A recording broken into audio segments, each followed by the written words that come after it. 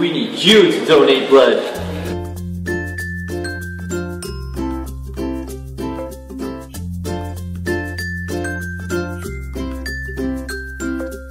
I support the blood drive.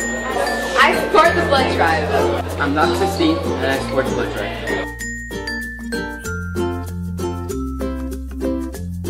Why do you want to donate blood?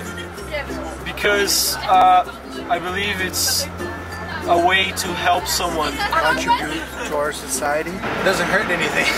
Something that takes only 10 minutes and it São Paulo's blood banks are almost empty. Support to give blood.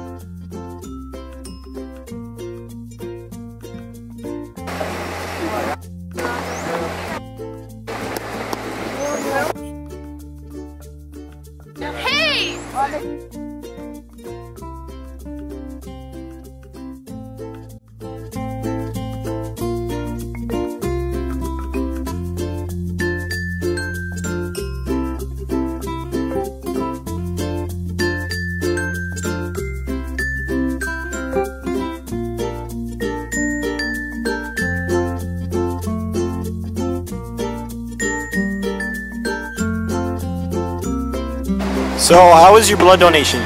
It was, it was actually pretty pretty good. It lasted for like five minutes at most. Uh, it took me longer to hold the cotton in my arm than to actually give blood. ready to come back in three months.